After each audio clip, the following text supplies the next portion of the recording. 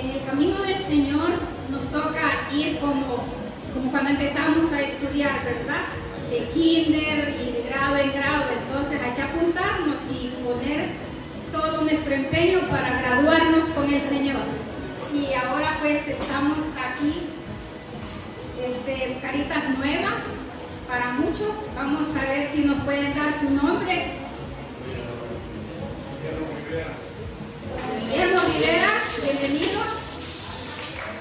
Almita, eh, esposa del señor Rivera.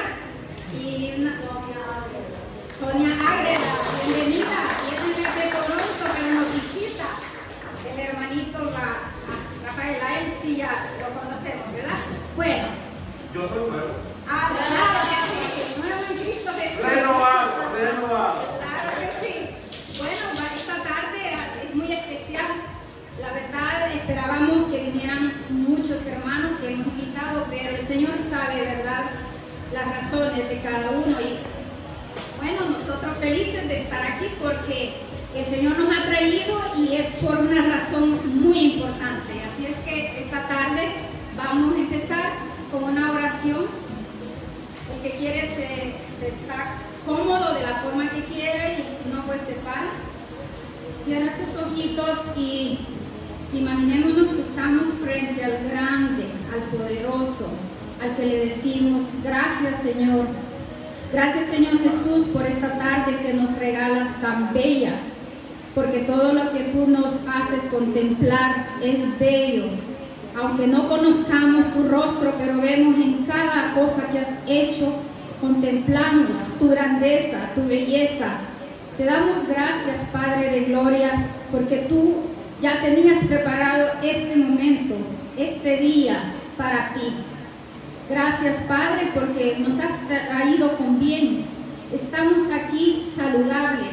Tenemos que decirte los saludables porque estamos confiados en que tú estás aquí con nosotros y desde el momento en que nos has traído hasta este lugar es porque tu mano es la que ha obrado para que estemos aquí y quieres que te demos las gracias, que dancemos, que cantemos y glorifiquemos, que alegremos ese espíritu que tú nos has regalado para poder honrarte como tú te lo mereces.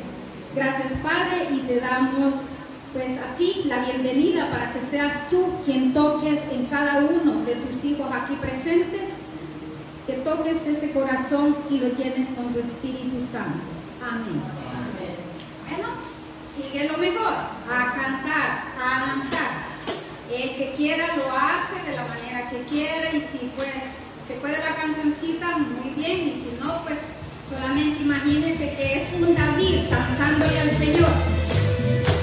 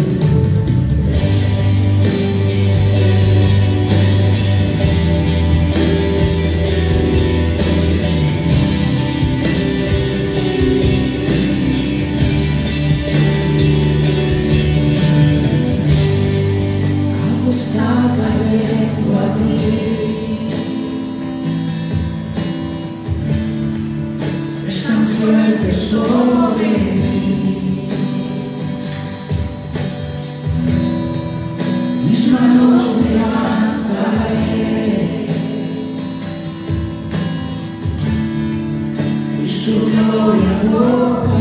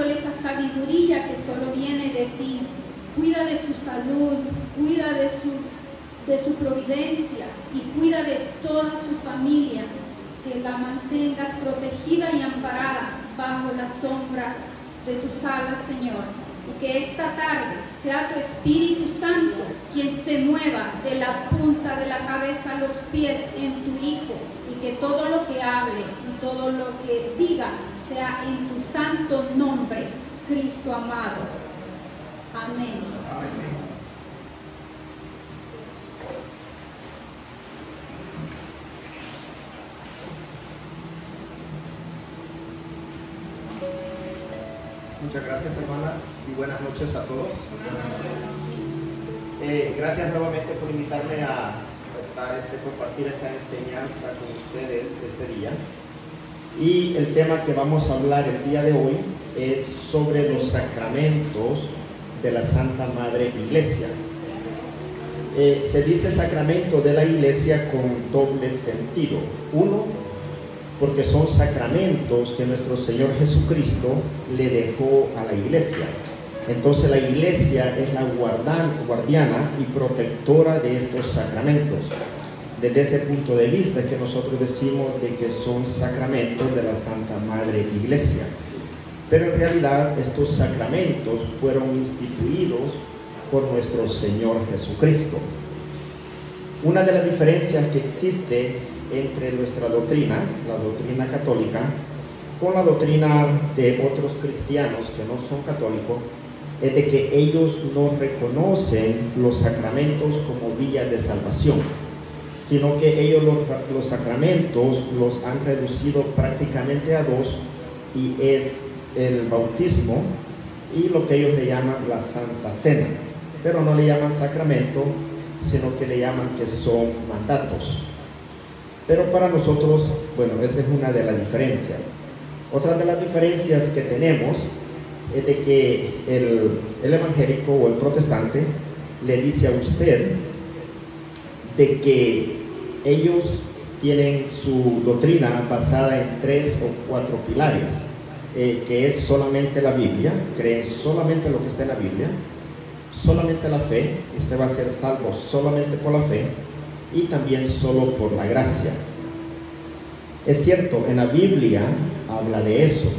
Habla, eh, por ejemplo, uno de los textos que ellos utilizan mucho está en el libro de Romanos, capítulo 10 y versículo 9. donde nos dice de que todo aquel que diga con sus labios que Jesús es el Salvador y que reconozca en su corazón que Jesús ha resucitado, ese se salvará. Y de allí viene de que ellos dicen, y lo que les enseñaba Martín Lutero con la reforma protestante, que no importaba cuántas veces uno, uno, uno pecara, desde el momento que alguien dice que está salvo, ellos ya están salvos. Entonces, un no católico cree esa doctrina y en el momento que dicen acepto al Señor en mi corazón, yo estoy salvo, no importa lo que haga. En verdad, eso es mentira. Porque incluso San Pablo, en el libro de los Romanos, capítulo 7 y versículo 14, San Pablo reconoce de que él es un pecador. Entonces, no quiere decir que porque solamente usted dice Señor, Señor, como nos dice en el libro de Mateo, capítulo 7 y versículo 21, no solo porque usted dice Señor, Señor, entrará al reino de los cielos. Hay un trabajo que hacer y ese trabajo es creer y ser fiel al Señor. Si nosotros vemos ahorita alrededor de aquí donde estamos, eh, podríamos decir, habemos bien pocos hermanos de lo que se esperaba. ¿Pero por qué es eso? Porque nosotros no le somos fieles a Dios. Simplemente es la única sencilla razón. Y pensamos que somos fieles, pero en realidad no somos fieles. Y por eso es que muchos hermanos se van de nuestra iglesia católica y se sienten atados, dejan la, doctrina santa y van a escuchar lo que le dice un pastor. Este tema que vamos a, comenzar esta noche es uno de los temas, eh, diríamos, más controversiales para los no católicos y entre los católicos. Entonces, para eso eh, me alegra mucho de ver que las hermanas eh, vi que estaban repartiendo unos libros para que tomen unas notas.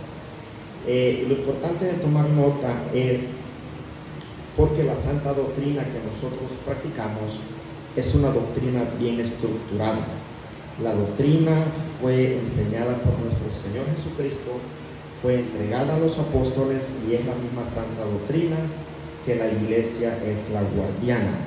Recordemos aquel capítulo de San Mateo, capítulo 16 y versículo 18, cuando Jesús le dice a Pedro, tú eres Pedro y sobre esta piedra edificaré mi iglesia.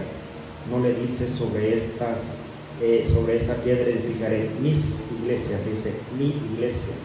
Y hasta ahorita, hasta ahorita yo estaba viendo unos ah, datos hay más o menos 34 mil iglesias a nivel del mundo, pero realmente la iglesia es una y tiene las características que es una, santa, católica y apostólica.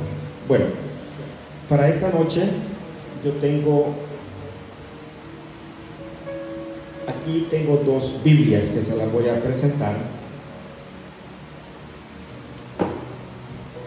Tengo una Biblia que es la Biblia, podríamos decir, católica, y se titula la Biblia latinoamericana. ¿Cómo sabemos que esta Biblia es católica? Porque tiene 73 libros y en las primeras páginas de la Biblia usted va a encontrar la autorización del obispo que dio, bueno, el obispo dio la autorización diciendo que esta Biblia puede ser publicada, puede ser eh, imprimida. Si la Biblia no tiene la autorización de un obispo, entonces esa Biblia no es católica. Y además de eso, eh, la Biblia no católica tiene 66 libros. Y esta Biblia que tengo acá se llama Biblia Reina Valera, que es una Biblia que utilizan los hermanos eh, eh, protestantes. Entonces, eh, sí, vamos a decir separado, se le llama protestante porque por todo protesta. Entonces, esta Biblia es una Biblia, la mejor Biblia que ellos tienen. ¿Y por qué es la mejor Biblia? Es una edición Thompson, que ellos le llaman, y al final de la Biblia tiene unas referencias a varios textos bíblicos, y es la Biblia, pues, número uno. En verdad, esta Biblia católica, cuando la compré, me costó 21 dólares esta Biblia, porque me sirve como diríamos como herramienta de trabajo, me costó 96 dólares. ¿verdad? Pero también esta Biblia tiene semillas, semillas de verdad. Entonces, como este tema es un tema de que los hermanos, eh, vamos a llamarlos esperados, este, ellos no creen en los sacramentos, entonces esta noche voy a ver si uno de ustedes, hermano, quisiera ayudarme a servirme como lector. Entonces, en ese aspecto yo no voy a tocar la Biblia, sino que la vamos a, la hermana va a leer eh, los textos bíblicos que yo le voy a ir dando y entonces ustedes los pueden ir anotando. Vea, la importancia de anotar estos textos bíblicos es porque muchas veces nosotros venimos, eh, escuchamos y luego nos vamos y se nos olvida todo. Luego viene la oportunidad en que nosotros eh, tenemos que eh, hablar con nuestros hijos, con nuestros familiares, referente a la doctrina que nosotros practicamos. Entonces llega un momento en que nosotros no sabemos cómo explicar nuestra propia doctrina. Y si algún hermano de esos que vienen a tocarle la puerta y vienen con la Biblia, ¿verdad? Los pastores, diríamos, este, eh, los falsos profetas, vienen y le tocan la Biblia y le empiezan a tratar de enseñar cosas a usted que no son verdaderas. Por ejemplo, vienen a usted y le dicen, eh, María tuvo más hijos. ¿Sabía usted que María tuvo más hijos? Y usted le dice, no, María no tuvo más hijos. ¿Cómo no? María tuvo más hijos. Miren, y van, le abren la Biblia, le buscan el texto bíblico de San Mateo, capítulo 13, versículos 55-56, donde dice que ahí estaba María, la madre de Jesús, y sus hermanos. Ahí no dice que eran otros hijos de María, sus hermanos, ¿verdad? Entonces, viene usted, y solamente como una práctica, viene usted y le dice, sí, pero en el libro de San Juan, capítulo 19 y versículo 25, dice, cuando Jesús ya está en la cruz, Él le dice a María, madre, ahí está tu hijo, hijo, ahí está tu madre. Entonces, si María hubiera tenido otros hijos, ¿verdad? Ella, que eran hermanos de Jesús, legalmente y por obligación, esos hermanos tenían que haber sido, la madre tenía que haber sido quedado a cargo de esos hermanos de sangre. Entonces la palabra hermano, pues ya muchos sabemos que se refiere a un pariente, eh, a un tío, a un sobrino o a algún familiar. ¿verdad? Luego, en el libro de San Marcos, capítulo 15 y versículo 40, ahí nos habla de que allí estaba María, la Madre de Dios, María Magdalena, María, la Madre de Cleofas, y ahí nos menciona los hijos de ella, que era este, uno que se llamaba José y también uno que se llamaba Judas. Entonces ahí comienzan a salir esos hermanos que ellos hablan eh, de Jesús y también en San Mateo capítulo 13, versículos 56 57, nos habla también, ¿verdad?, de esas Marías que estaban en la cruz justo con Jesús. Y ahí es donde nosotros vamos deduciendo que realmente en ninguna parte de la Biblia usted le puede preguntar a un hermano, a un hermano no católico a dónde en la Biblia dice que María tuvo más hijos. No dice en ninguna parte. Pero ellos le vienen a usted, le enseñan la Biblia y si usted no está preparado, un hermano católico que no está preparado, eh, rápidamente se deja engañar y pues bueno, se va con ellos. Bueno, hablábamos que el tema que vamos a hablar hoy es sobre los sacramentos de la Santa Madre Iglesia. Un sacramento, los sacramentos, el sacramento eh, se puede definir de esta forma. El sacramento es una, un acto visible, ¿verdad? De una acción o de una gracia invisible. O sea, cada sacramento es visible, como el bautismo, la confirmación, eh, la Eucaristía, eh, la confesión es visible. Pero el resultado que tiene es un acto invisible que nosotros no lo podemos ver. Entonces, Eso es un, es un sacramento. Ahora bien, ¿cuántos sacramentos hay en la iglesia? Yo ya lo mencioné. Siete. Son siete sacramentos. A ver, ¿ustedes recuerdan cuáles son los sacramentos?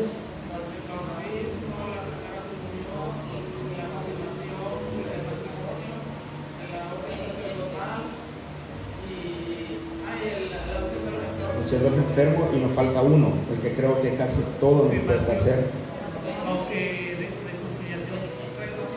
la confesión.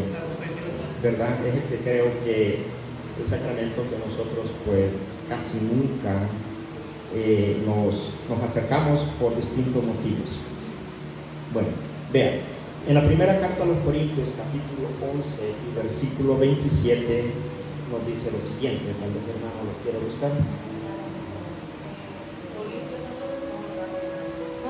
Ah, capítulos 11, primera, primera Corintios, capítulos 11.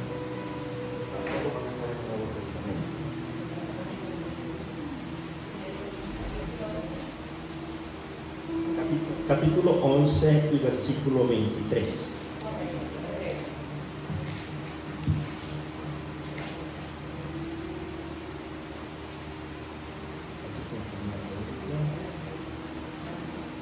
Once, veintitrés. Sí, bueno, o el que lo encuentre lo puede leer. Vamos a ver, mi hermano lo va a leer. Porque yo recibí del Señor lo que también os he enseñado, Palabra de Dios. palabra de Dios. Vea, San Pablo, San Pablo dice de que él, si quieren se oye bien, ¿verdad? Vea, San Pablo, San Pablo dice que lo que él nos está transmitiendo lo ha recibido del Señor. Entonces, toda la santa doctrina que nosotros tenemos fue recibida de nuestro Señor Jesucristo. Ahora bien, ¿qué fue lo que San Pablo recibió del Señor?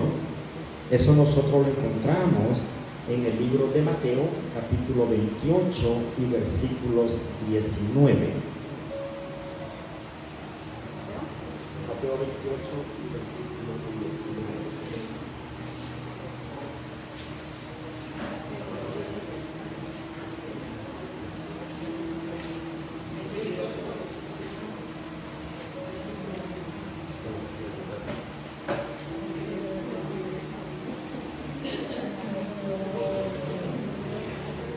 En Rusia, 28, 19 de Mateo. Por, por tanto, id y hacer discípulos a todas las naciones, bautizándolos en el nombre del Padre, del Hijo y del Espíritu Santo. Palabra del Señor. Entonces, San Pablo dice de que lo que él este, nos está transmitiendo a nosotros y lo que la iglesia nos transmite a nosotros es algo de que recibió del Señor. ¿Qué fue lo que San Pablo recibió del Señor? Un mandato. ¿A dónde nosotros encontramos ese mandato? En el libro de San Mateo, capítulo eh, 28 y versículo 19. Pero como nosotros somos débiles como seres humanos, entonces nosotros necesitamos una ayuda para poder llevar ese mensaje. Y el Señor nos las explica en el libro de San Juan, capítulo 15 y versículo 5.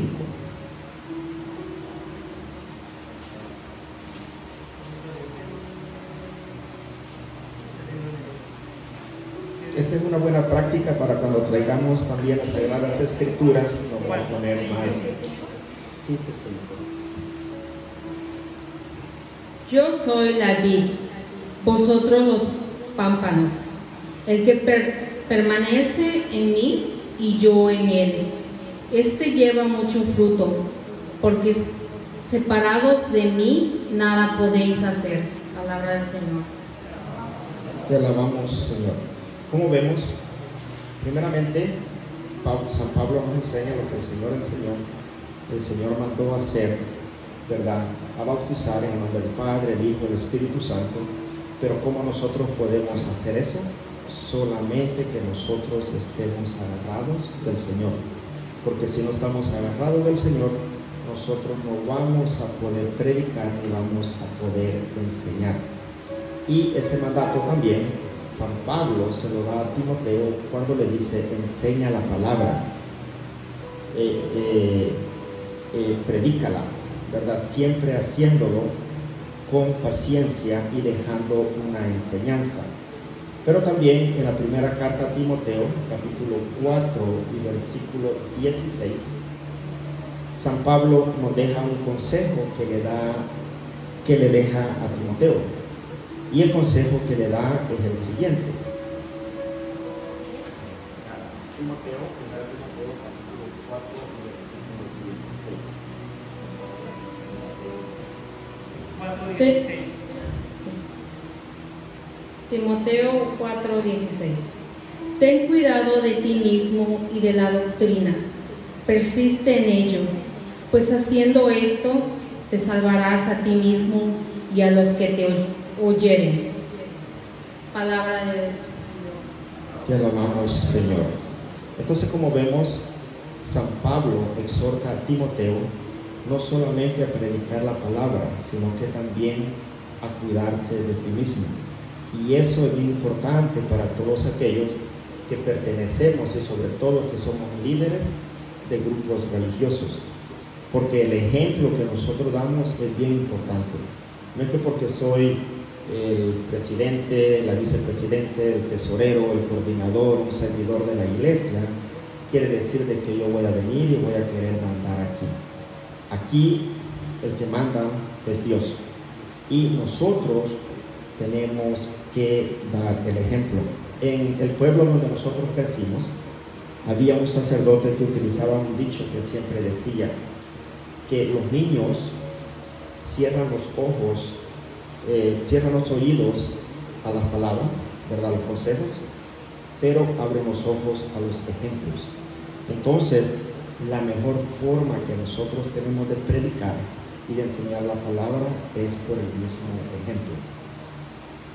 Entramos temprano, entramos a descubrir de que hay siete, siete eh, sacramentos de la iglesia, ¿verdad? Y los definimos de que son el bautismo, la confirmación, la Eucaristía, eh, la penitencia o la confesión, la unción de los enfermos, matrimonio y orden sacerdotal. Ahora, esos siete sacramentos están divididos en tres grupos. Prácticamente son cuatro grupos. El primer grupo se conoce como sacramentos de iniciación. A ver, ¿cuáles son los sacramentos de iniciación? Bautismo, confirmación, y comunión. De iniciación porque es cuando nosotros comenzamos o nos iniciamos con la doctrina. Hay dos sacramentos que se conocen como sacramentos de, de sanación o de curación. A ver, ¿cuáles son? Unción de los enfermos y la confesión, ¿verdad? Porque estamos enfermos espiritualmente, nos sanan. Y están dos sacramentos que son sacramentos de servicio, que son matrimonio y el orden sacerdotal. Y si no, pregúntenle a uno de los hermanos si no sirven lavando los trastes, la casa.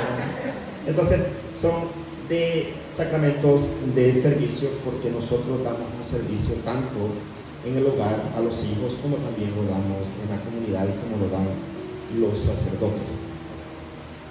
Vamos a comenzar con el primer sacramento, que es el sacramento del bautismo. Eh, antes de, de pasar allí, la Iglesia Católica no solamente se basa en la Biblia, sino que tiene también lo que se llama, ya lo he enseñado, el catecismo de la Iglesia Católica. El catecismo es un concentrado de lo que es nuestra doctrina.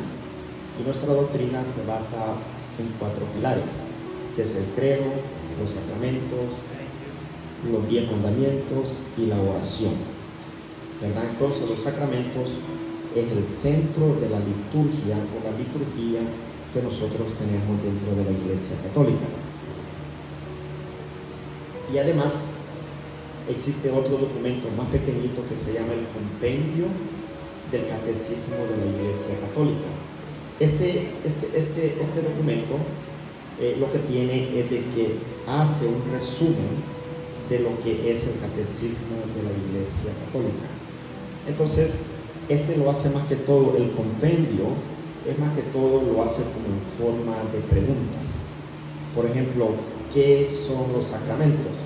Entonces usted se va, usted quiere saber qué son los sacramentos, un ejemplo, se va al numeral 224 y aquí nos dice, vamos a ver, 224, está la pregunta que dice, ¿qué son los sacramentos y cuántos hay?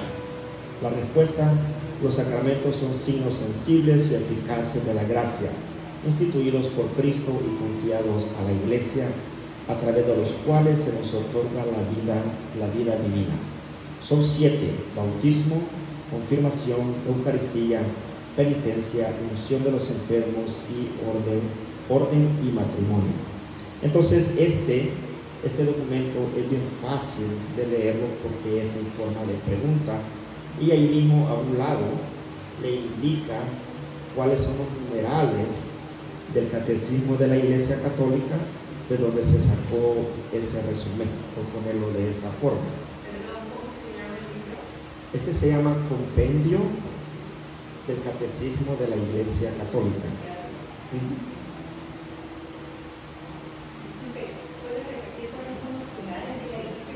¿Cuáles son los? Los pilares. Los pilares que encontramos donde se concentra toda la doctrina son cuatro. Es el credo. Por ejemplo, eh, si eh, una persona que no es católica viene a su casa y le dice, eh, los católicos en qué creen, usted se recuerda del credo. El credo contiene 21 de los dogmas que tiene la Santa Madre Iglesia. Y los siete sacramentos también son dogmas de la Santa Madre Iglesia. Entonces, si usted se sabe el credo, sabe 21, más 7 de los sacramentos ya son 28. Y de todos los dogmas que la iglesia tiene, los más reconocidos son 24, eh, perdón, 44.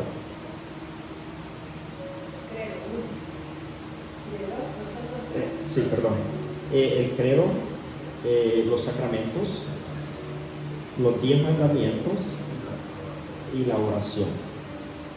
Ahí están todos los pilares y ahí es donde se concentra nuestra santa doctrina.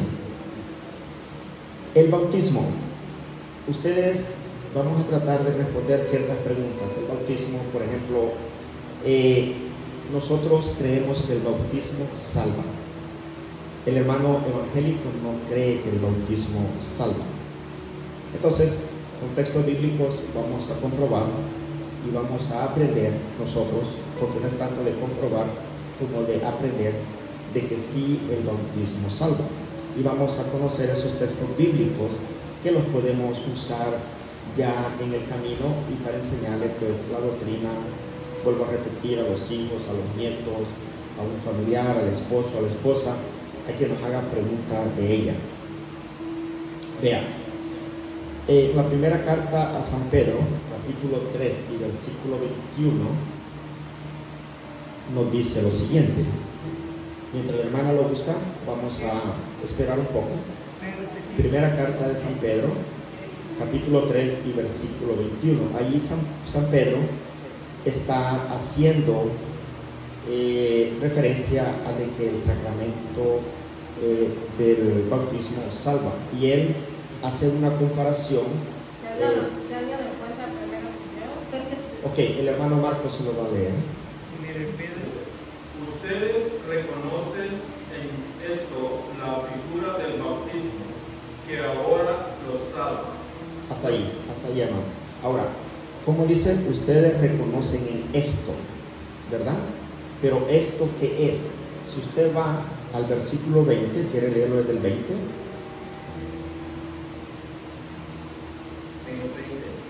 Vale. Que refiere Sí, sí. No,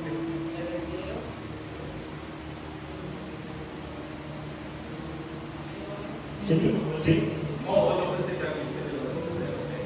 Dice, en el 20 dice, espérate.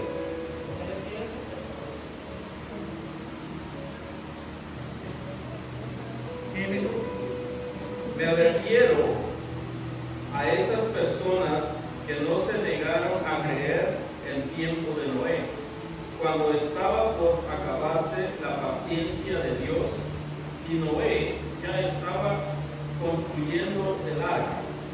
Pero alguna- algunas personas, ocho en total, entraron al arca y se salvaron a través del agua. Continúa el otro. Ustedes reconocen en esto la figura del bautismo que ahora los salva. Entonces, ¿qué es lo que nos está diciendo San Pedro? Que nosotros podemos ser salvos por el agua. En el versículo 20, en la primera carta de San Pedro, capítulo 13, versículo 20, nos está hablando de una prefigura de lo que era, de lo que es el bautismo.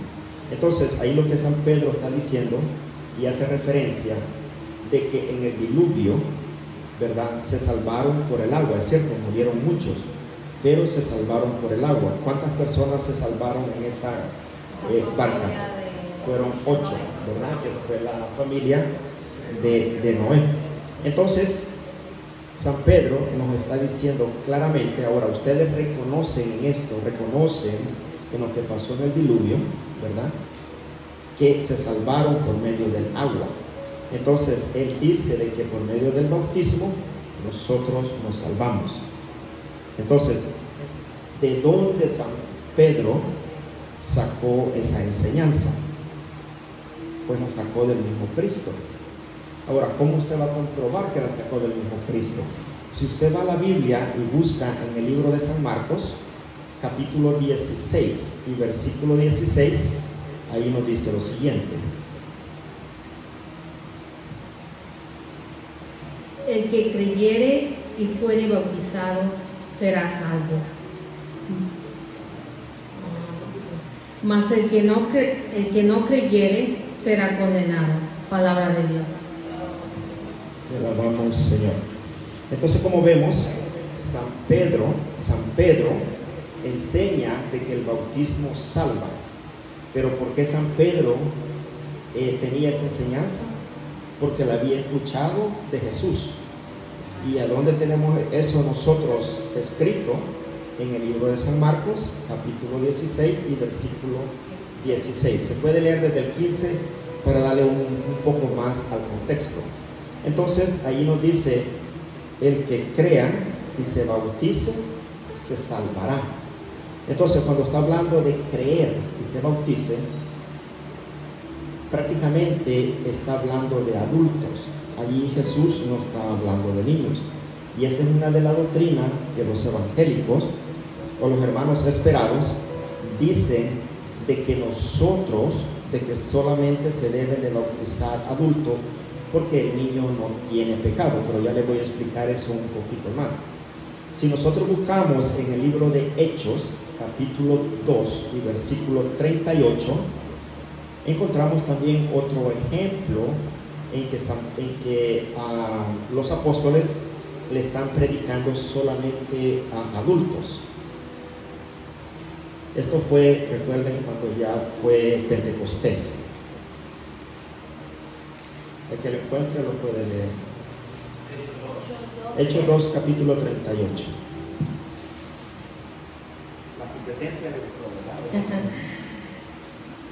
Pedro les dijo, arrepentíos y bauticese cada uno de vosotros en el nombre de Jesucristo para, perdón de- para el perdón de los pecados y recibiréis el don del Espíritu Santo. Palabra de Dios.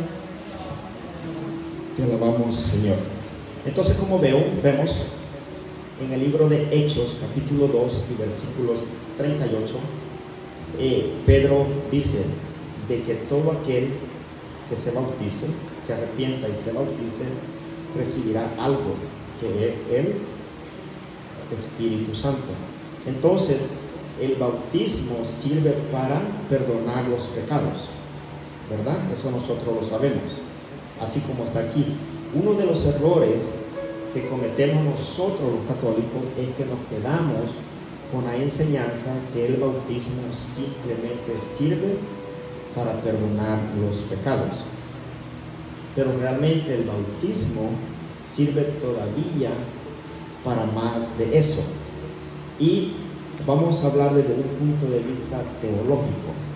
Si ustedes ven, vayan anotando esta cita porque es muy importante, el libro de San Marcos, capítulo 1 y versículos del 9 al 10. Allí nos habla del bautismo del Señor y vamos a ver qué fue lo que pasó. San Marcos, capítulo 1 y versículos del 9 al 10. Aconteció en aquellos días que Jesús vino a Nazaret de Galilea y fue bautizado por Juan en el Jordán. Palabra de Dios.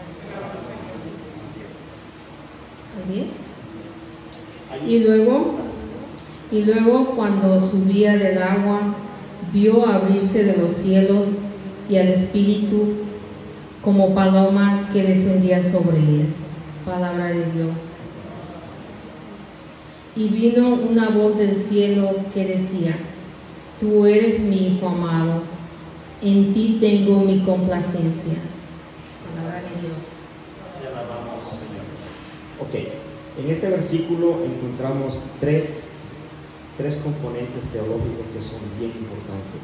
Primeramente dice de que Juan bautizó a Jesús, ¿verdad? Y cuando él lo bautiza, esto lo vamos a explicar también después, cuando, porque se dice que porque es que nosotros bautizamos niños cuando Jesús se bautizó adulto. Nos dice la palabra, como lo acabamos de leer y el hermano Daniel lo puede confirmar, que cuando Jesús sale del cielo, ¿qué es lo que pasó? Perdón, cuando él sale de las aguas, ¿qué pasó? El cielo, el cielo se abrió. Ahora, la pregunta es, ¿Jesús había venido del cielo o no había venido del cielo? Había venido del cielo. Entonces, de una forma teológica nos está diciendo que el momento que nosotros nos bautizamos, las puertas del cielo se abren para nosotros. ¿Qué pasó después? Que bajó el Espíritu Santo en forma de paloma. ¿Acaso Jesús no tenía el Espíritu Santo? Sí lo tenía. ¿Cómo nosotros sabemos eso? Si recordamos el libro de San Lucas, capítulo 1 y versículo 44, cuando Jesús va a visitar, eh, perdón, cuando María va a visitar a su prima Santa Isabel. ¿Qué es lo que pasa cuando eh, Santa Isabel o el niño escucha el saludo? Dice que el niño saltó de alegría y Juan quedó, lleno del Espíritu Santo. Entonces no había necesidad. Entonces ese texto bíblico teológicamente nos está diciendo que cuando nosotros nos bautizamos, primeramente se abre el cielo. La primeramente vimos que salva, ¿verdad? Vemos de que el cielo se abre para nosotros, ¿verdad? Entonces, segundo, que nos llenamos del Espíritu Santo. Y tercero, se oyó una voz del cielo que decía, este es mi Hijo amado. Por eso es que con el bautismo nosotros comenzamos a ser hijos de Dios. Y es en ese momento que nosotros ya podemos llamar a Dios, ¿cómo se dice? Abba, que significa Padre. ¿Verdad? Es con el bautismo que nosotros nos hacemos hijos de Dios, se nos abre el cielo y es cuando nosotros nos llenamos del Espíritu Santo. ¿Estamos hasta ahí? Bueno. Eh, San Pablo hace referencia también a, una, a un simbolismo que se dio en el Éxodo cuando el pueblo salió de Egipto. Y eso está en la primera carta a los Corintios, capítulo 10 y versículos del 1 al 4. A ver, vamos a ver. Primera Corintios, capítulo 10, versículo de 1 al 4.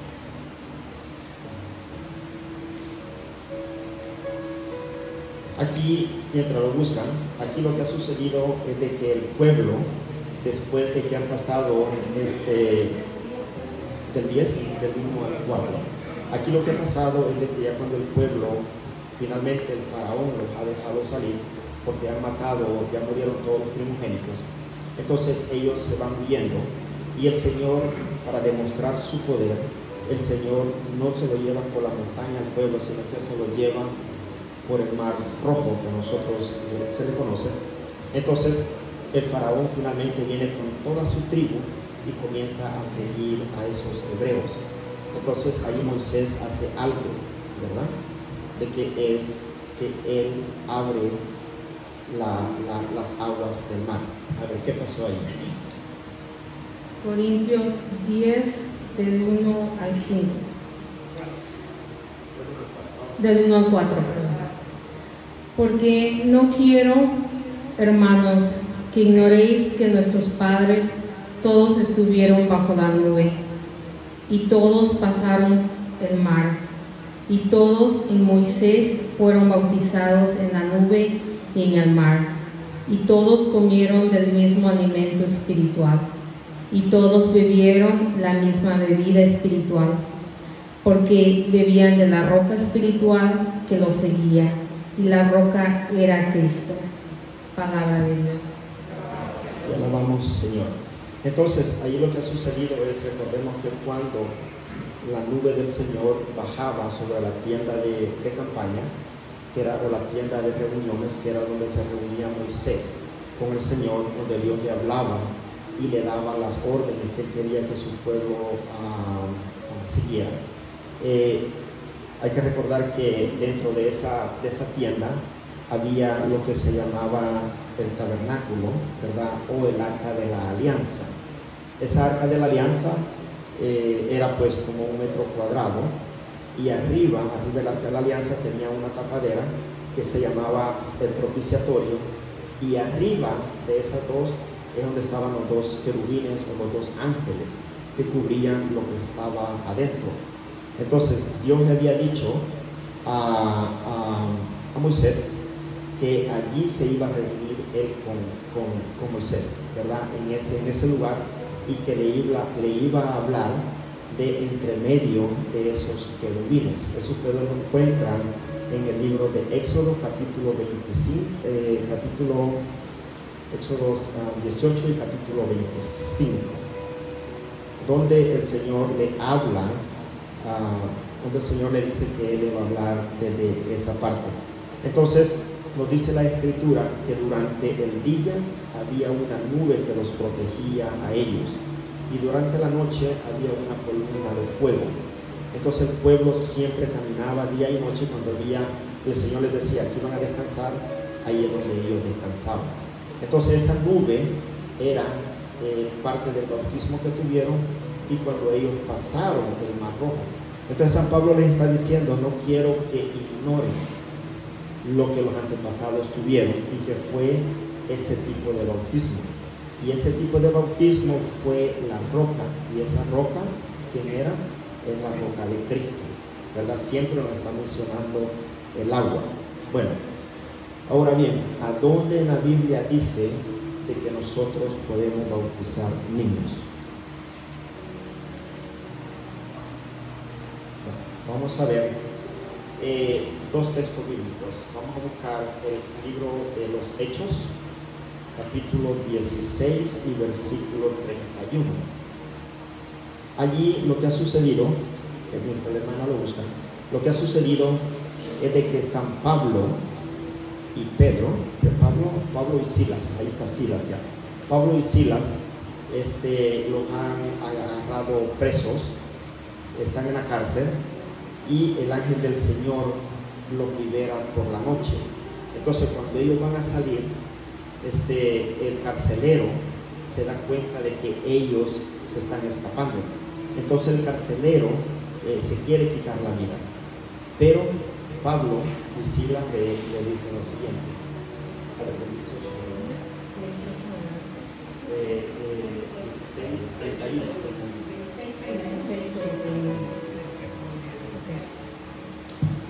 Ellos dijeron, cree en el Señor Jesucristo y serás salvo, y tu casa. Y le hablaron la palabra del Señor a él y a todos los que estaban en su casa. Y él, tomándolos en aquella misma hora de la noche, les lavó las heridas y enseguida se bautizó en él, se bautizó él con todos los suyos. Llevándolos a su casa, les puso la mesa y se regocijó con toda su familia de haber creído a, Dios. Palabra de Dios. Y alabamos, Señor. Entonces, como vemos, este carcelero se lleva a Pablo y se lleva a Silas eh, para su casa y se bautiza, dice la Escritura, toda su familia. Ahí no dice que se bautizaron solamente los hombres, solamente las mujeres, que se, bautizaron solamente los criados. Dice toda su familia. Entonces una familia incluye todo, ¿verdad? De ahí es donde viene la doctrina que nosotros tenemos. Y un poquito antes de este texto bíblico, en el mismo 16, me parece que es del versículo como del 13 en adelante, nos cuenta la historia de otra, de una mujer que se llamaba Lidia. Esta Lidia también se convierte con toda su familia. ¿Entiendes? 16 como del 13. 14. Bueno.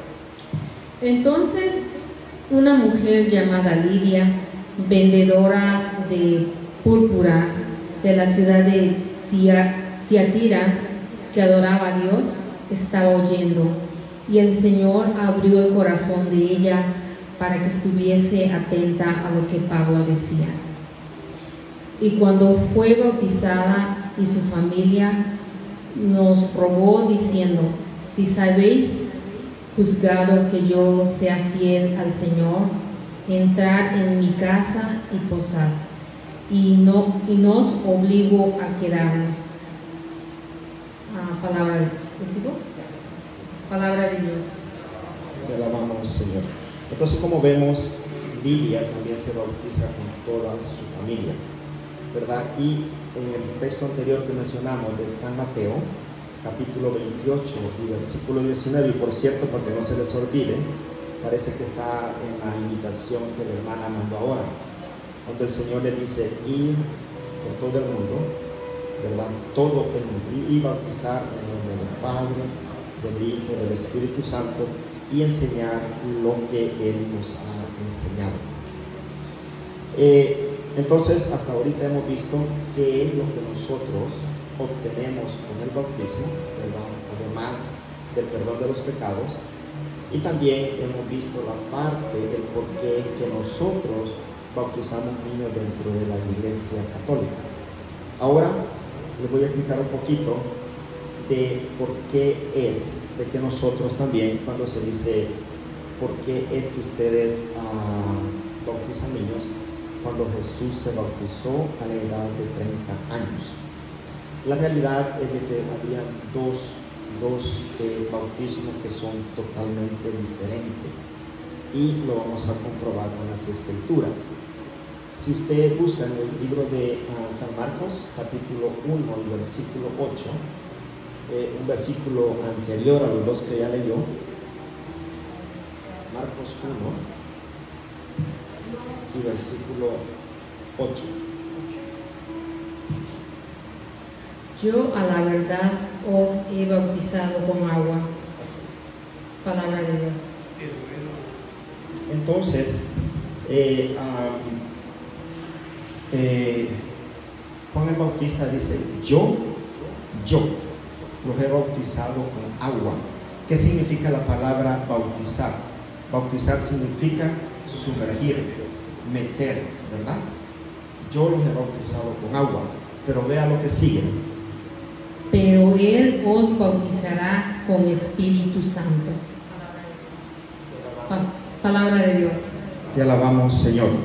Juan dice, yo los he bautizado con agua, pero Él, haciendo referencia a Jesús, los bautizará con el Espíritu Santo. ¿Verdad? Entonces, Entonces, por eso es que él dice bautizar en nombre del Padre, del Hijo y del Espíritu Santo. Nosotros con el bautismo, como ya hemos visto, nosotros recibimos el Espíritu Santo. Pero también en el libro de Hechos, capítulo 19 y versículo 1, del 1 en adelante, San Pablo nos comprueba de que había dos tipos de bautismo. 19 del 1, del 1 al 3. Aconteció que entre tanto que Apolo estaba en Corinto, Apolo, Apolo era un, un, ah, griego que había llegado de Alejandría y había llegado a la ciudad de Corintios. Pablo, después de recorrer las regiones superiores, vino a Éfeso y hallando a ciertos discípulos les dijo, "Recibí- recibéis al Espíritu Santo cuando cre- creestéis. Reci- recibisteis, recibisteis el Espíritu Santo cuando creestéis. Cuan- cuando creestéis. Recibéis el Espíritu Santo cuando. Creísteis. Ok. Entonces San Pablo, San Pablo les está diciendo, recibieron el Espíritu Santo cuando creyeron o fueron bautizados, nos dice la Biblia a nosotros. Y ellos le dijeron, ni siquiera hemos oído si hay Espíritu Santo. Entonces dijo, ¿en qué pues fuisteis bautizado? Ellos dijeron, en el bautismo de Juan. palabra de Dios. Entonces vemos qué es lo que la gente le dice. Nosotros fuimos bautizados en el bautismo de Juan. Entonces ahí está claramente que hay dos tipos de, habían dos tipos de bautismo. El bautismo que hacía Juan, ¿verdad? Y el bautismo del Señor, que es el que nosotros recibimos, en el cual nosotros somos ungidos por medio del Espíritu Santo. ¿Estamos hasta ahí? ¿Alguna pregunta? ¿No? Bueno,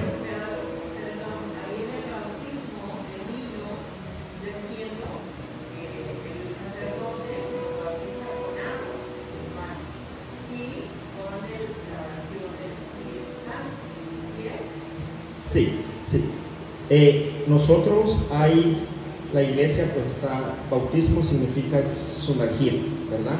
El bautismo de nosotros se le llama por expersión, o sea que es, es, es, agua, ¿verdad? La que, la que nos echa. ¿Por qué? Porque si nosotros regresamos y vamos al libro de San Juan, capítulo 3 y versículo del 3 al 4, ahí encontramos aquel pasaje cuando eh, Nicodemo llega donde el Señor, llega de noche y le pregunta cómo es de que él se puede salvar. Ya, San Juan 3, eh, del 3 en adelante. Ah, y todo aquel que tiene esta esperanza en Él se purifica a sí mismo. Y así como Él es puro, todo aquel que comete pecado infringe también la ley. Pues, pues el pecado es... Está leyendo primero Juan 3. Es, es del Evangelio de San Juan. San Juan tiene, tiene eh, el Evangelio de San Juan, San Juan el Evangelista, ¿verdad?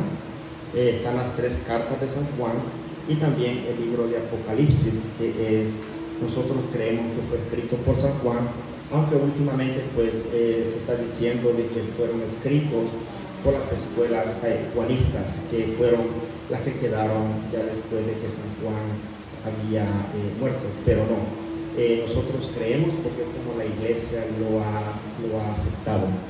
Entonces vamos a ver el libro de San Juan capítulo 3 y versículo del 3 en adelante.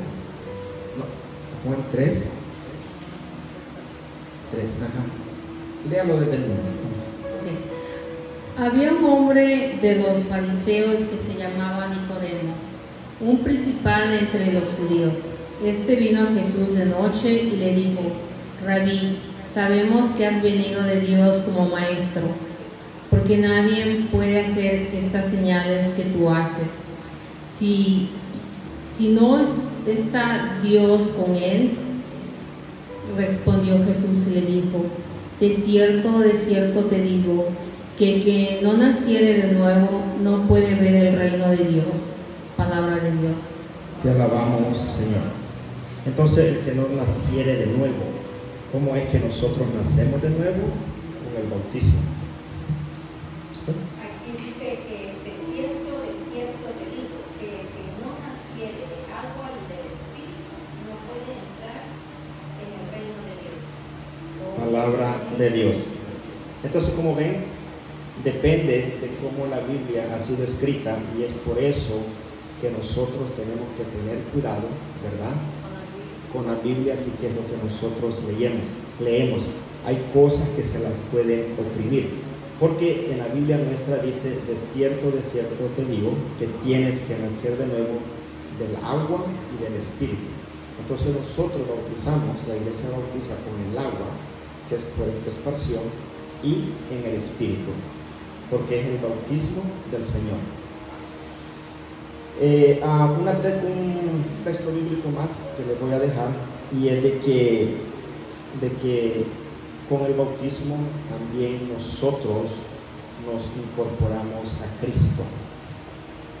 Por eso es, este es bien importante cuando usted le pregunten por qué es que ustedes son cristianos. O sea, ¿con qué derecho ustedes son cristianos? Con el derecho que hemos sido bautizados y con el bautismo nosotros nos hemos incorporado al Señor. Y eso ustedes lo encuentran en la primera carta a los Corintios, capítulo 12 y versículo 12. Fácil de memorizarlo también. Primera Corintios, capítulo 12 y versículo 12.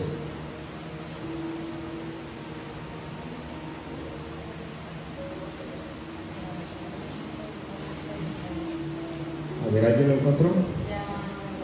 No quiero, no quiero tocar la Biblia porque les digo que son textos, son temas que son bastantes, am, eh, que, son cuestionados por los no católicos.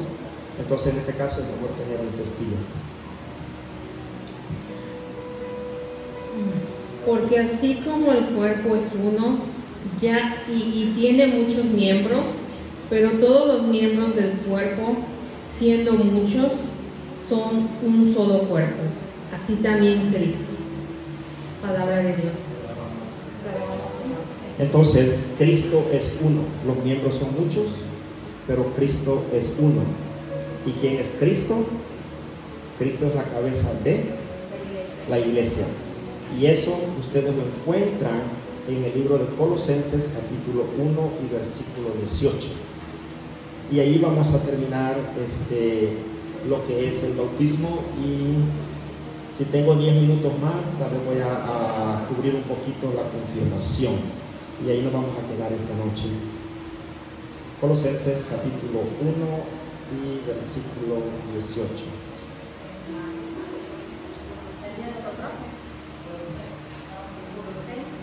Uno, 18.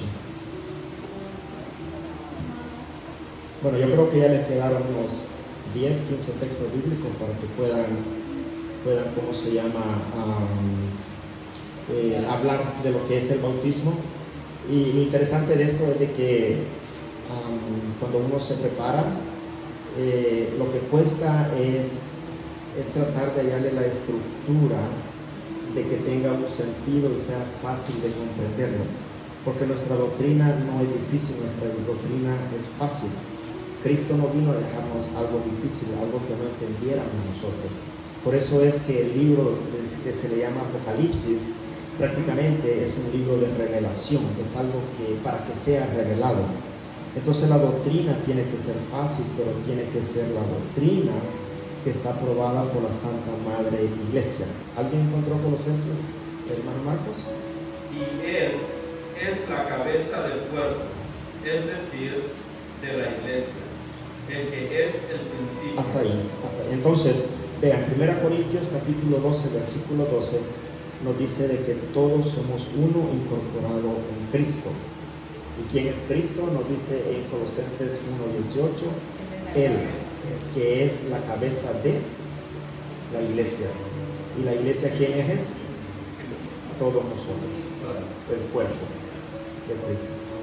Vale, hasta ahí no sé si tengo 10 minutos más o ya no. ¿Sí? Bueno, ah, ¿alguna pregunta hasta ahorita antes de pasar al, tema de lo que es eh, la confirmación? ¿No? ¿Está bien?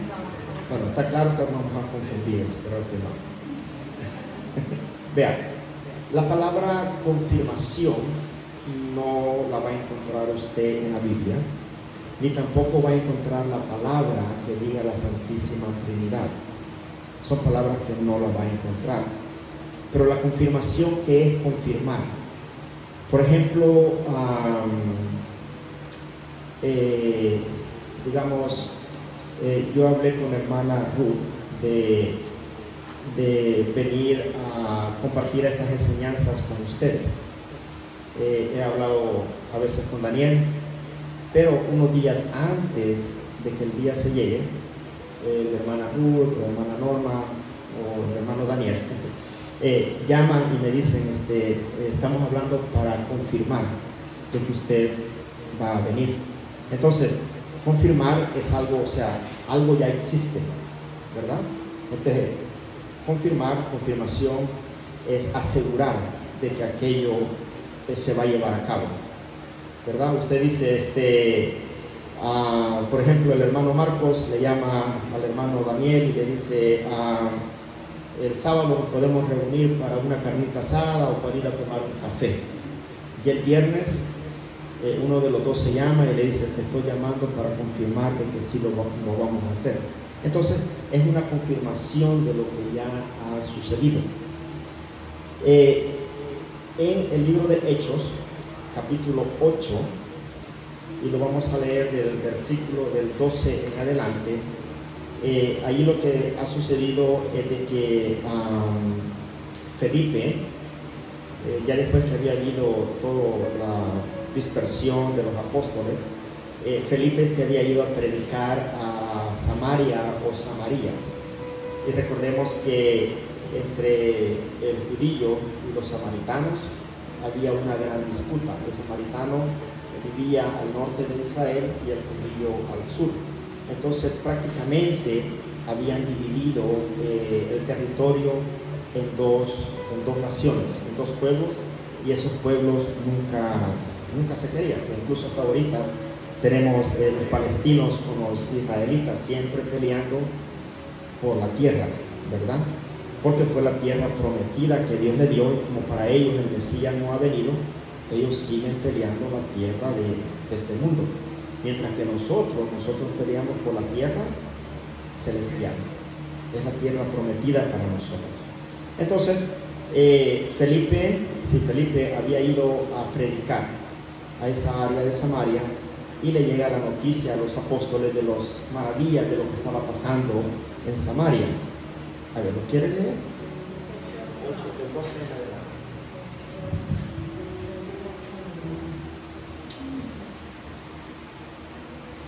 Pero cuando creyeron a Felipe que anunciaba el Evangelio del reino de Dios y en nombre de Jesucristo se bautizaban hombres y mujeres, también creyó Simón mismo y habiéndose bautizado estaba siempre con Felipe y viendo las señales y grandes milagros que hacían, estaba atónito. No, no, está bien. ahí. Ese Simón que nos menciona en esta parte es un Simón, no es Pedro, es un Simón que era un mago. Eh, más antes de eso nos habla de ese Simón que hacía micos y pericos y era como él hacía dinero. Y cuando vio que Felipe llegó y comenzó a hacer prodigios, ¿verdad? Cosas más grandes, entonces este Simón se le pega a Felipe y le dice de que él quiere ese espíritu para hacer esas maravillas por cuestión económica. Y es por eso, hermanos, de que la palabra de Dios puede ser bien fácilmente manipulada por aquellas personas que quieren hacer dinero. Y ahí es donde viene el papel de los pastores evangélicos.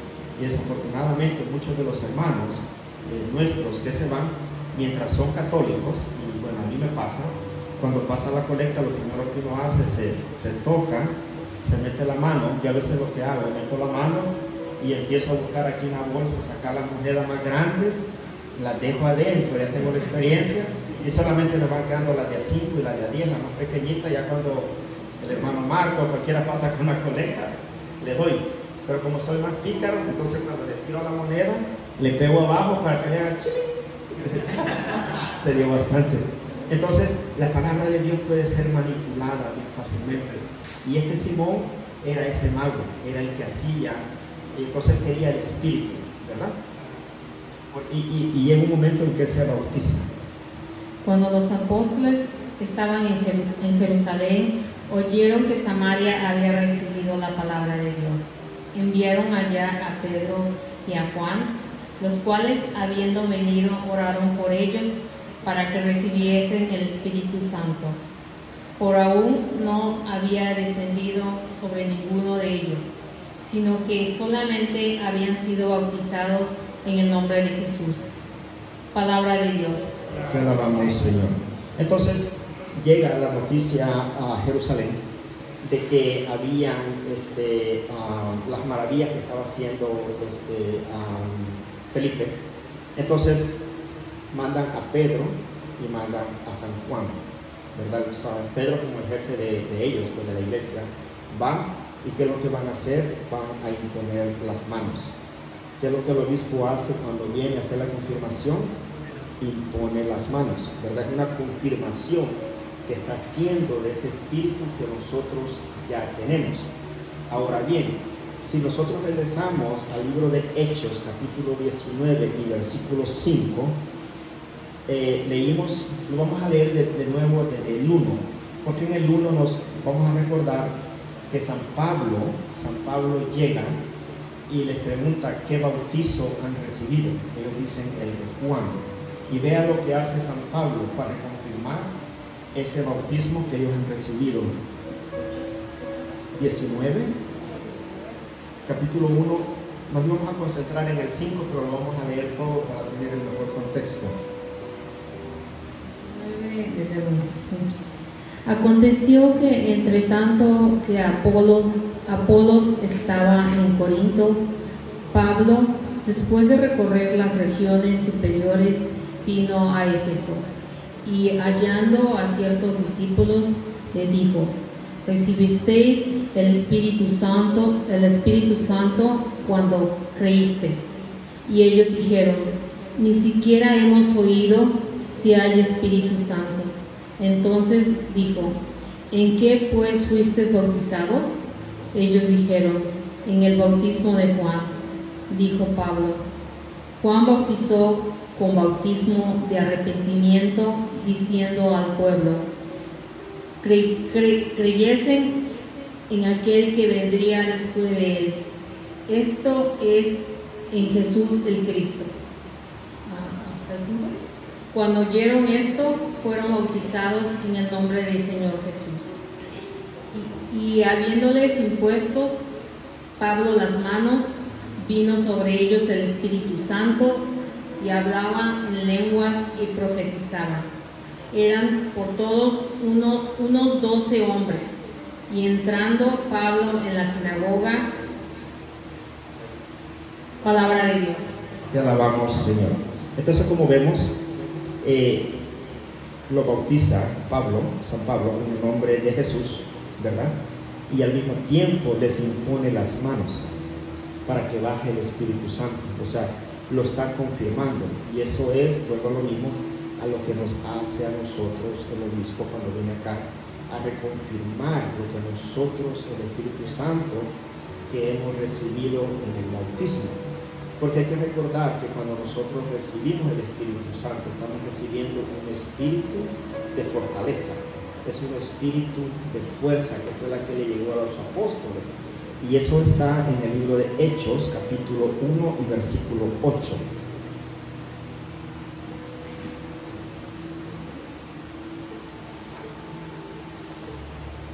Hechos 1 y, y capítulo 8, y ahí van a ver qué es lo que pasa a aquellos que recibimos el Espíritu Santo.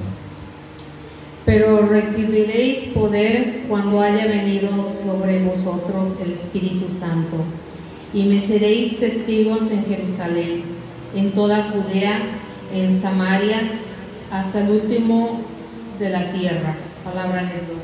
Te alabamos, Señor. Por eso es que cuando nosotros nos confirmamos, ¿verdad? Es que nosotros estamos, el sacerdote, el, el obispo, el que tiene la autoridad o a quien él se la delega, tiene la autoridad de imponer las manos para que el Espíritu Santo quede en una forma sellada. Y ahí es donde se conocen de los siete sacramentos. Hay tres sacramentos que se conocen como sacramentos de carácter o carácter. Lo que eso significa es que son tres sacramentos que se dan solamente una vez en la vida. Y es el bautismo. Usted no se puede volver a bautizar. El bautismo, la confirmación una vez porque es, usted queda, su, su alma queda sellada y el orden sacerdotal. Un sacerdote, un sacerdote va a ser sacerdote aquí, en el cielo, y si el sacerdote se murió lleno de pecado, va al infierno, él sigue siendo sacerdote. Son tres sacramentos que se le llaman sacramentos de carácter, carácter, como se pueda pronunciar, pero más que todo es un sello espiritual que nos queda en el alma a nosotros. Pero cuando nosotros recibimos ese espíritu de fuerza, el espíritu nos da esa fuerza para predicar la palabra, pero también nos, nos, nos da aquella fuerza para poder separarnos de todo aquello de lo que se podríamos decir la concupiscencia, de todo aquello que la carne nos llama porque nosotros estamos formados, si puedo decir, dos elementos, que es el espíritu y el cuerpo. Y vamos a leer esto de Gálatas capítulo 5 y versículo 16. Y vamos a ver cómo es que la fuerza del Espíritu Santo nos aparta del mal. Allí, eh, eh, eh, ¿a dónde se perdió? Es a Gálatas capítulo 5 y versículo 16.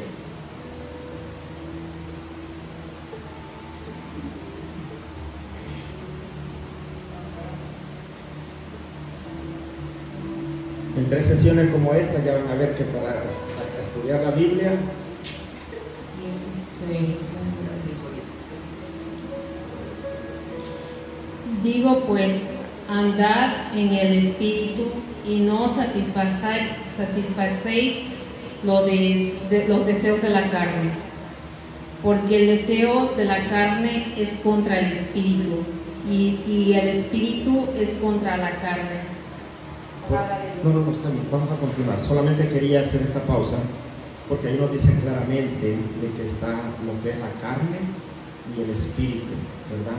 De lo que nosotros estamos formados. Pero la carne es más fuerte que el espíritu. Entonces, si nosotros caminamos en el espíritu, nosotros podemos vencer esa carne. Pero si sois guiados por el Espíritu, no estéis bajo la ley. Y manifiesta son las obras de la carne, que son adulterio, fornicación, inmundicia, lascivia, idolatría, hechicería, enemistades, pleitos, celos, iras, contiendas, disensiones, herejías. Ah, envidias, homicidios, borracheras, orgías y cosas semejantes a estas, acerca de las cuales os amonesto, como yo os les he dicho antes, que los que practican tales cosas no heredarán el reino de Dios. Palabra de Dios. Te. Vean la gran lista que da lo que nos llama la sangre. Con, razón, eh, lo que nos llama la carne. Con razón, mi mamá, cuando yo estaba pequeño y no iba mucho a la iglesia, me decía, ay, qué chulo el niño. Toda todas las cosas bonitas que menciona ahí, que nos llama la carne cuando nos alejamos del espíritu. Pero sí, cuando tenemos ese espíritu firme, entonces vemos cómo el espíritu nos da fuerza para luchar contra lo que la carne nos está pidiendo. Y para terminar, este, ah, para terminar, solamente le voy a dar este texto bíblico y ustedes lo pueden buscar en su casa, que está en la segunda carta del libro de Timoteo, capítulo 6 y versículo 7. Segunda carta de Timoteo, capítulo 1, versículo 6, del 6 al 7.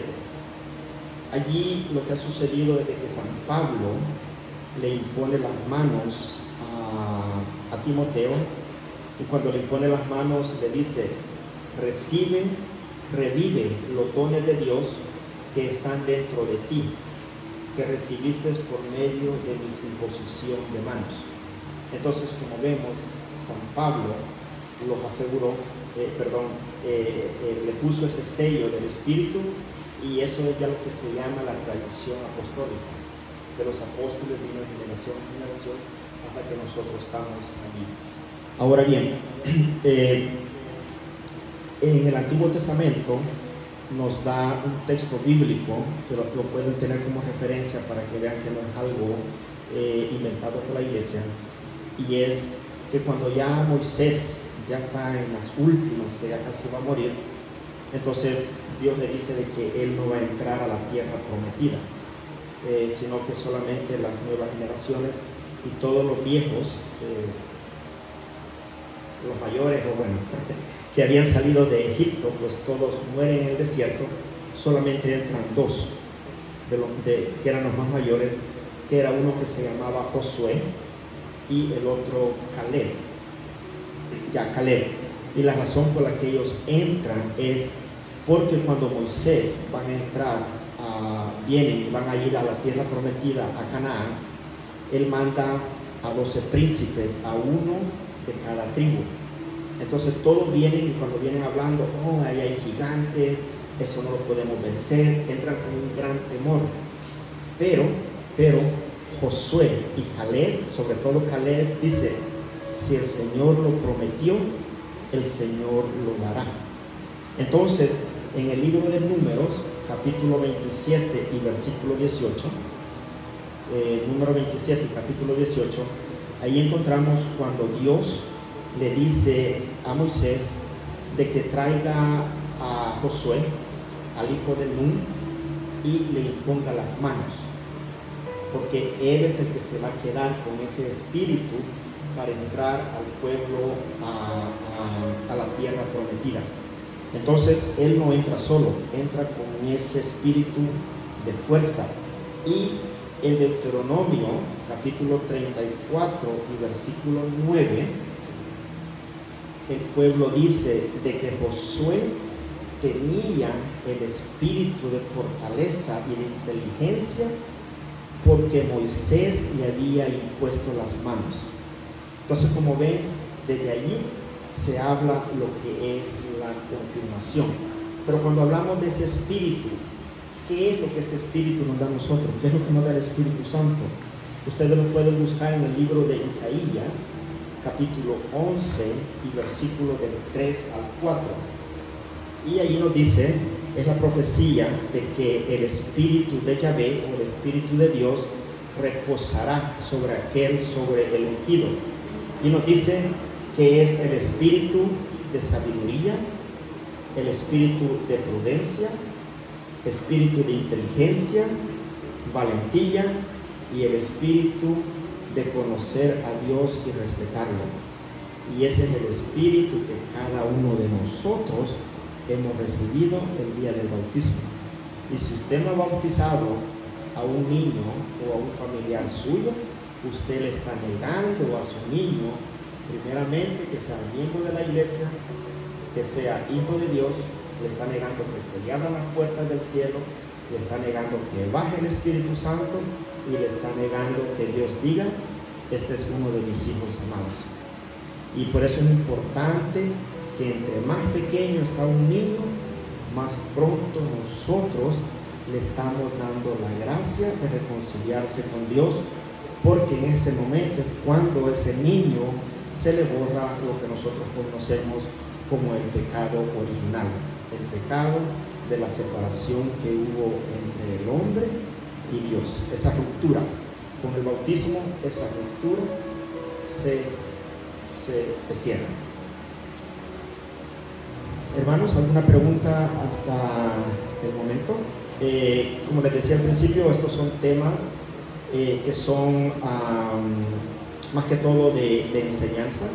Eh, son temas que no trae, tal vez como están acostumbrados a, a un mensaje así espiritual, pero, bueno, sí pero no, no, no sé si me explico.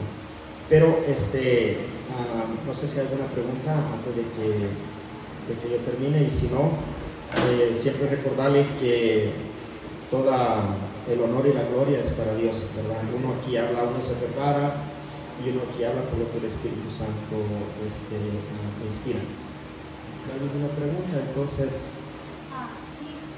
¿Qué pasa cuando, digamos, un niño es bautizado en la iglesia y cuando ya crece cambia de idea y se va a otra iglesia? ¿Verdad? Que que se ve eso como un juego que se está dando. Porque es un, usted lo acaba de decir, que es una sola vez. que se- un solo bautismo, un solo Señor, una sola fe. Eh, lo que pasa es lo que más o menos decía al principio, de que nosotros eh, no le somos fieles al Señor y muchas veces falta de, de conocimiento de nuestra doctrina, de educación, es que la persona fácilmente con cualquier enseñanza que otra persona venga le da, fácilmente se va y, abandona la doctrina santa. Por eso es que San Pablo le dice a los Gálatas, en, en Gálatas eh, capítulo 9 y 10, le dice lo siguiente, él le dice, si, dice, si alguno viene a enseñarles una doctrina diferente a la que nosotros le, le hemos enseñado, échenlo, sáquenlo, porque es un anatema. Y en Gálatas capítulo 1 versículo 8, un capítulo anterior, dice, aunque un ángel del cielo bajara a enseñarle una doctrina diferente a la que nosotros, o sea, los apóstoles, le estamos enseñando, no lo aceptan. ¿Pero por qué?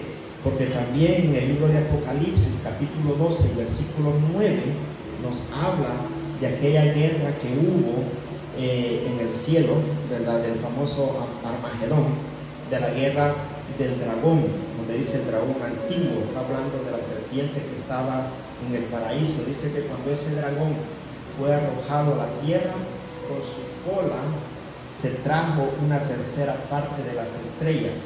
Y en la Biblia, cuando usted habla estrella, está hablando de los ángeles. Entonces, el demonio se trajo una tercera parte para acá. El diablo no va a venir a usted y le va a decir, ah, su nombre es no va a venir y le va a decir, eh, Verónica, fíjate que ah, si no bautizas a tu hijo, eh, tu hijo no va a ser hijo de Dios, eh, tu hijo no tiene derecho a entrar al cielo, tu hijo no tiene derecho a, ser, a, este, recibir el Espíritu Santo. Si el demonio viene, así como se pinta, y le dice, Verónica, no lo bautices, porque si lo bautizas, esto va a pasar. ¿Qué es lo que usted va a hacer? Si lo bautizo y me desmayo ahí del susto. Lo, lo primero que usted va a hacer es salir corriendo a buscar un cura, un sacerdote, bautíceme a mi niño. Entonces, ¿qué es lo que pasa? El diablo busca lo más humilde y lo más bonito para atacarnos a nosotros. Vea, ¿cómo es que el diablo nos ataca? El diablo nos ataca porque nosotros le damos cabida. Nosotros. El diablo no nos controla, nosotros le damos cabida. Y le voy a dar un ejemplo. Si usted va, usted va, digamos, a la tienda y usted va a comprar, digamos, a un tomate. Usted va a comprar tomates. ¿Qué es lo primero que usted hace? O un aguacate. ¿Qué es lo primero que usted hace si usted va a comprar tomates o aguacates? Lo- los agarro, los reviso, veo el precio y ya, pues lo compro. Perfecto. Lo agarra, lo revisa y, lo ve que está durito, que está bueno, se lo llevó. El diablo, ¿qué es lo que hace? El diablo va a venir a usted, como ejemplo, como ejemplo me queda bien. El diablo viene a usted y le empieza, le empieza a tocar. Pero ¿por dónde la toca el diablo? Por los pensamientos que usted tiene que dice, tengo problemas con mi marido o mi esposo. Marido vamos a usar. Mi marido me está traicionando. está viniendo tarde del trabajo. Eh, el dinero, el dinero que antes traía, hoy las cuentas no están lo mismo. Este, o usted comienza a decir, este, no, que esa hermana del grupo a mí no me cae bien, que esa es una bruja, que mire, que mire cómo se viste, este, que usted entró y vio a dos hermanos platicando, eso me están criticando a mí, porque cuando yo entré se callaron. Entonces el diablo, como ese tomate, la empieza a tocar, la empieza a tocar. Y cuando haya ese pedacito flojo, La ahí él- debilidad, ¿no? en la debilidad, él comienza a meterse y comienza el gusanito por dentro. Y eso es lo que nos separa a nosotros de la iglesia. Es el mismo demonio, pero ¿por qué? Porque nosotros le damos oportunidad. Nosotros sabemos que tenemos este espíritu, un espíritu fuerte, un espíritu de fortaleza. Pero, ¿qué pasa? Entonces allí depende de nosotros si hacemos, ¿verdad? Seguimos lo que el Señor nos. Eh, tengo unos amigos que son de otra religión, eh, no están bautizadas al final de sus vidas, una sí y otra no. ¿Sirve el bautismo de la el, eh, es por inmersión? ¿Sirve? Por inmersión de si han sido bautizados en el nombre del Padre, del Hijo y del Espíritu Santo, sí se acepta, porque nosotros, nosotros como, como laicos, en caso de necesidad, nosotros podemos, podemos bautizar a una persona. Sí, en emergencia. Pero casi siempre los hermanos protestantes, ellos no bautizan en el nombre del Padre y del Hijo. Entonces siempre dice que no es válido, ¿no? Ya, solo en el nombre de Jesús, dicen ellos, ¿verdad? Pero Jesús es Jesús. Ah, sí.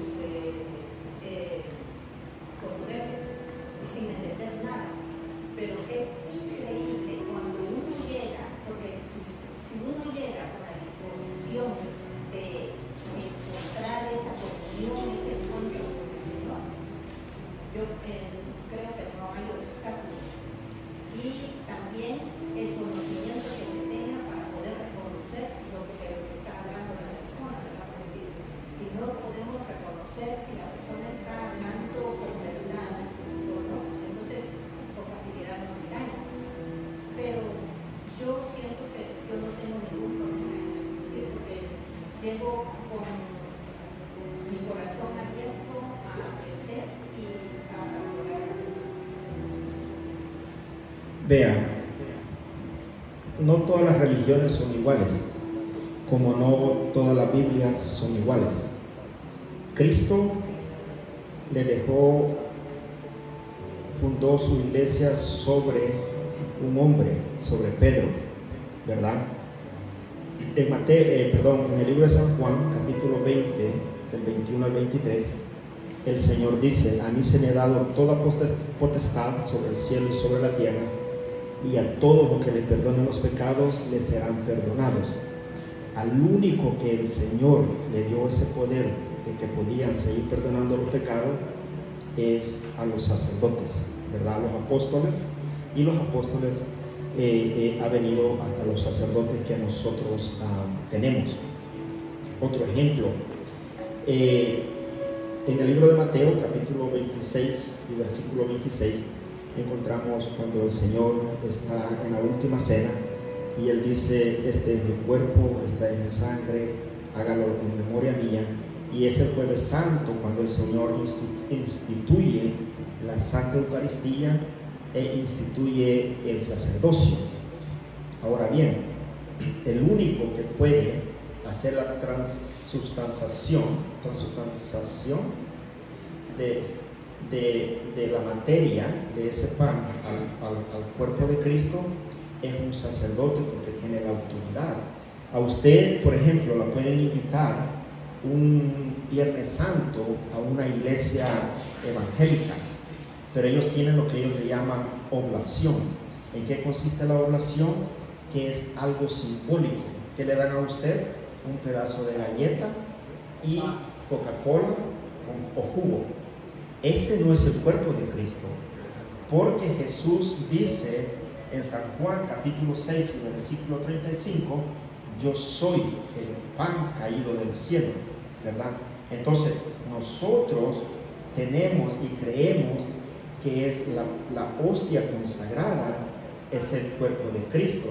Y si nosotros, como dice San Pablo en la primera carta a los Corintios, capítulo 11, del versículo del 25 al 30, si nosotros comemos ese cuerpo indignamente, nuestra propia condenación estamos obteniendo. Por eso es que tenemos que estar dignos de recibir ese cuerpo.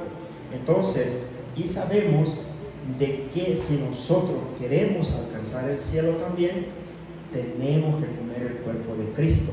Entonces, en ninguna otra iglesia usted va a tener la bendición de recibir el verdadero cuerpo de Cristo más que la iglesia católica. Las otras iglesias, y eso lo vamos a ver en la otra clase, es de que si la Eucaristía es simbólica o es real, porque para ellos es un símbolo. El bautismo es un símbolo, la, confirmación es un símbolo, la, la confesión es un símbolo, la unción de los enfermos es un símbolo. Entonces para ellos es simbólico. Pero si nosotros creemos en la palabra de Jesús, como nos dice en el libro de San Mateo, capítulo 12, versículo 47, ustedes van a ser juzgados por mis palabras, por las palabras. ¿Y quién fue el que dijo, yo soy el pan bajado del cielo? El Señor. ¿Quién fue el que dijo, hacer esto en memoria mía? El Señor. ¿Quién fue el que dijo, este es mi cuerpo, este es mi sangre? Es el Señor. Entonces, si nosotros creemos en el Señor, estamos aquí. No, eh, es la respuesta que yo, yo le daría, ¿verdad?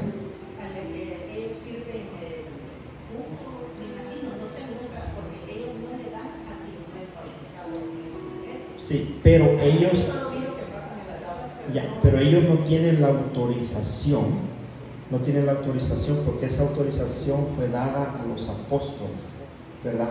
Ahora, ¿cuándo fue que comenzaron las iglesias evangélicas? en el año 1545 con, con Martín Lutero. Ahora, ¿por qué Martín, ¿por qué Martín Lutero comenzó sus iglesias? Martín Lutero era un sacerdote agustino, alemán. Él lo mandaron a Roma, a él lo mandaron a Roma a hacer estudios sobre el libro de, los romanos. Entonces, la, biografía de Martín Lutero dice de que él era un tipo eh, tan recto y tan celoso de Dios que uno de los problemas más grandes que él encontraba en su vida era ofender a Dios. Él no quería ofender a Dios. Cuando vino a Roma, él tenía, debido a la mentalidad que él tenía, él tenía, acuerdo, de acuerdo a los psiquiatras que lo vieron a él, que son cuatro, que están en la biografía de él, eh, dice de que Martín Lutero tenía dos opciones. Una era quitarse la vida y morirse y no seguir ofendiendo a Dios. O dos, encontrar un mecanismo que él le iba a servir en el cual él ya no podía ofender a Dios. Por eso es de que él usa el texto de Romanos capítulo 10 y versículo 9, donde dice que si tú dices con tu labio que el Señor que Jesús es el Señor y aceptas en tu corazón de que Él resucitó, serás salvo. Él decía, un, una vez ellos aceptan que dicen de que ya son salvos, pueden pecar mil veces, dos mil veces en el día y siempre van a ser salvos. Usted habla con un evangélico, ellos son salvos, ellos ya, lo- ya lograron la salvación y son santos. ¿Qué pasó con Martín Lutero? Él encontró el libro de los Romanos, capítulo 13, versículo 28, donde dice que es justificado por la fe. Es la doctrina que ellos dicen que usted no necesita hacer ninguna obra, sino que solamente tener fe. ¿Qué fue lo que Jesús dijo? Conocerme por las obras que yo hago. Juan 14, 12. ajá. Yo, yo tengo entendido que Martín Lutero se revela contra la Iglesia Católica porque la Iglesia Católica en ese tiempo vendía los cielos. Eh, la Iglesia Católica siempre estuvo paralela a los gobiernos, a los estados, ¿verdad? Y se encargaban de recolectar el dinero y luego se lo repartían entre la Iglesia Católica y los gobiernos. Entonces la Iglesia Católica era prohibido para los feligreses tener acceso a la Biblia, solo ellos tenían ese control. Cuando Martín Lutero comienza a leer la Biblia de pe a descubre que allí no dice que se debe negar y así es como sale. Y posiblemente lo que usted agrega. Que eh, lo vieron no sé cuántos y que estuvo mal porque él se revela contra la iglesia. Y de ahí donde viene la palabra protestante. Solo voy a terminar con esto, solo para aclarar una cosita pequeñita y esto lo podemos hablar tal, vez fuera ya de la clase. Es lo que usted dice es cierto. La Iglesia Católica por muchos años mantuvo la Biblia con una cadena amarrada. Usted iba a las iglesias, pero no era porque la iglesia no quería compartir la Biblia. Para esa época no existía la imprenta. ¿Qué es lo que pasaba? Que en esa época tener una Biblia es como que ahora usted tenga un Tesla, ¿cómo se llama? No, Tesla. Un Tesla. Usted tenga un carro Tesla ahorita, caro. ¿Por qué? Porque la Biblia era escrita a mano, palabra por palabra, por, lo- por los, latín. los que están los monjes, los monjes. Entonces, hacer una Biblia se llevaban hasta tres años. Y la iglesia es la guardiana y protectora de la verdad. Entonces, nunca la iglesia daba permiso que nadie eh, hiciera traducciones porque no quería que la verdad la cambiara como la comenzaron a cambiar en el año 1545 con Martín Lutero. Hasta ahí voy a terminar. Gracias, hermanos. Eh, eh, Bueno, hermana, yo les aconsejo que vean los videos del padre Luis Toro